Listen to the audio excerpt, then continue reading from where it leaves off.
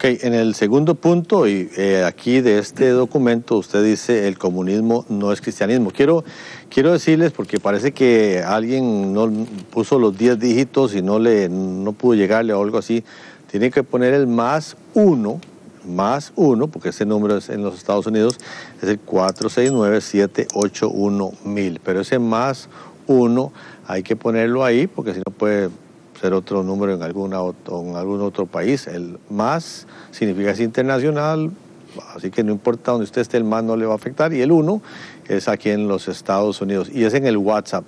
Escribe al WhatsApp, no es a través de mensaje normal, me están diciendo aquí al, oído. Así es que este, ya lo sabe, es, muy sencillo. Si yo pude hacerlo, usted también puede hacerlo, así créame. Pero em, ya 1.169 personas, me, me, un reporte hace un momento, ya han descargado este documento. Importante que esté a la mano nuestra, este documento tiene información muy valiosa que algún amigo suyo, algún familiar, a usted mismo le interesa.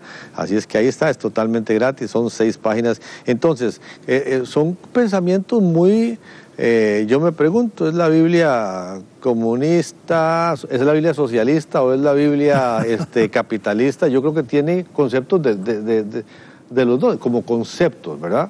Pero usted habla aquí que el comunismo no es cristianismo y me gustaría escuchar. Claro, eh, yo, yo recuerdo cuando abracé, repito, la dialéctica materialista de Lenin, de Marx, de Engels, etcétera, etcétera, que mi hermano Alejandro fue el que me guió a mí a Cristo y yo le alegaba eso, no es que el cristianismo fue el primer sistema comunista que hubo en, los, últimos dos mil años.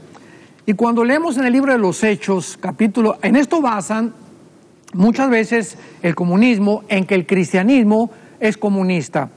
Y dice en Hechos capítulo 2, versículo 44, todos los que habían creído estaban juntos y tenían en común todas las cosas.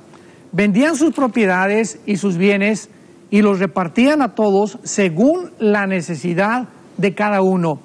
¿Cuál es la diferencia en que los cristianos de la iglesia primitiva se desprendían de sus bienes materiales y los entregaban a otros hermanos en necesidad? El amor de Dios.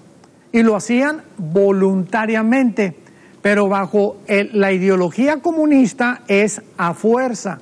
Entonces, cuando comenzó... Eh, eh, José Stalin y cuando comenzaron los líderes comunistas en el siglo XX a tratar de cambiarle la palabra robar, ah, no, pero soy muy feo robar, la palabra es expropiar.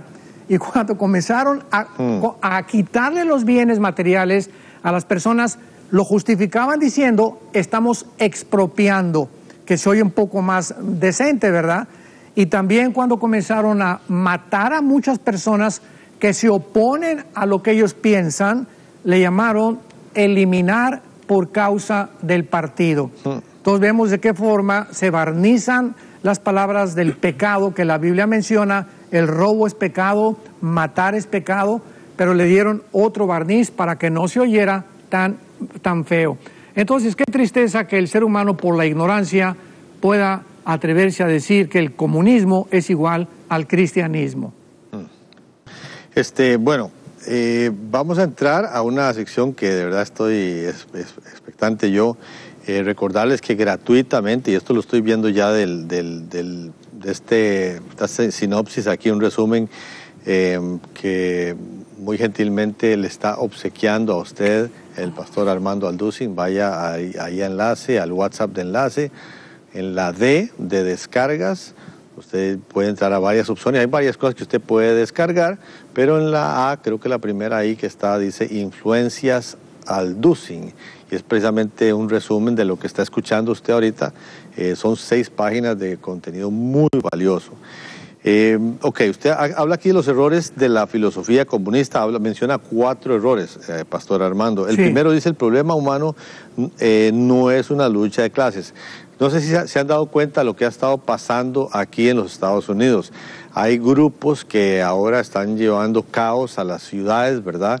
Creo que fue en Chicago donde vimos estos días que han estado saqueando em, eh, tiendas, eh, la Gucci y Macy's y no sé qué, se han metido y la gente está invitando a que quiebren los vidrios, métanse a robar, porque y, y hay rótulos que dicen, nos han robado, o sea, los de las clases ricas nos han robado. Ya no es un asunto de que los blancos contra los negros, no es un asunto de que, eh, de que aquel eh, pobre hombre que asesinó a un policía, eh, que todos estamos en contra de aquello que pasó y terrible haberlo visto en televisión todo, pero gracias a Dios salió y, hay cambios que tienen que hacerse en cuanto a eso, pero ya eso, todo eso se olvidó. Ahora nadie está hablando de, de esto, ahora ha seguido la violencia y entonces el rótulo decía, nos han robado, ahora como decir, ahora robemos nosotros.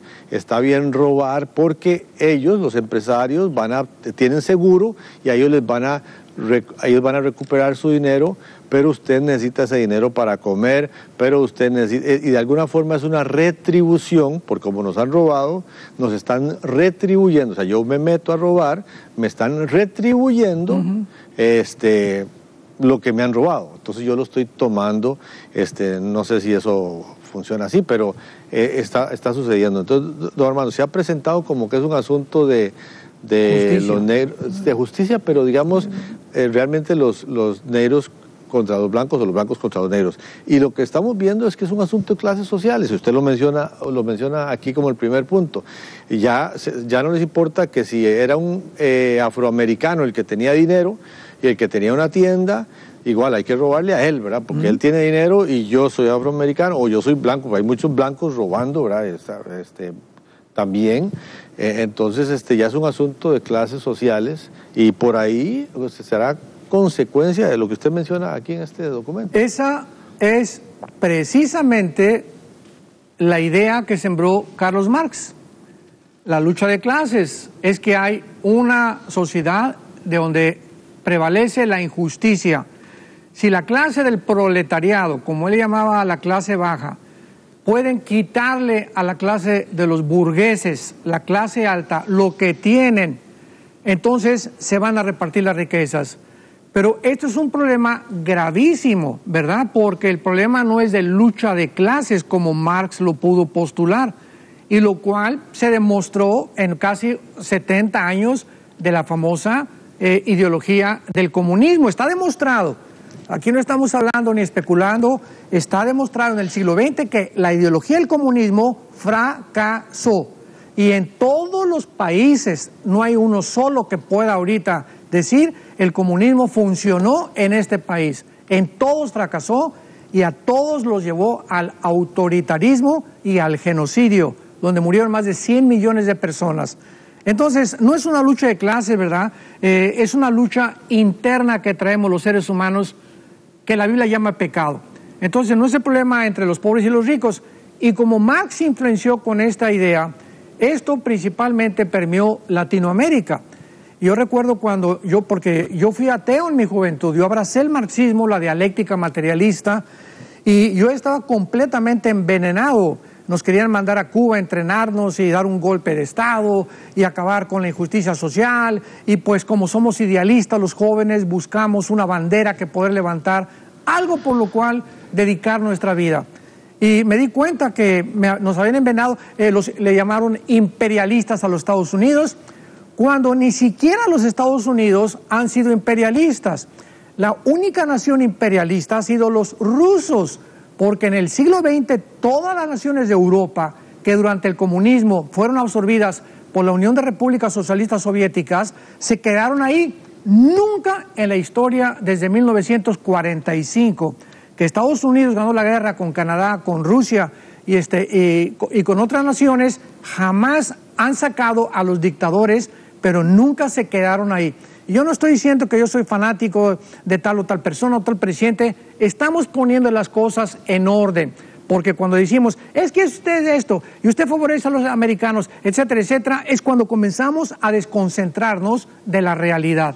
Entonces, estas ideas, por eso estamos hablando de esto en esta, en esta entrevista, estas ideas han hecho mucho daño. ¿De dónde viene eso la lucha de clases? Que los pobres contra los ricos, los negros contra los blancos, viene de que somos animales, que está eh, Carlos Darwin, viene de Carlos Marx, es que es el Estado y tú quítale al que tiene para que, porque tú no lo tienes. Eh, Freud, no, el problema es mental, no necesitamos al espíritu ni mucho menos. Y Nietzsche, no existe Dios.